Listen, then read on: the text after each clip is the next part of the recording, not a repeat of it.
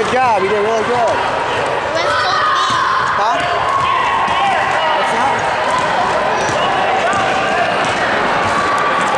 What's there any reason for us to show up tomorrow?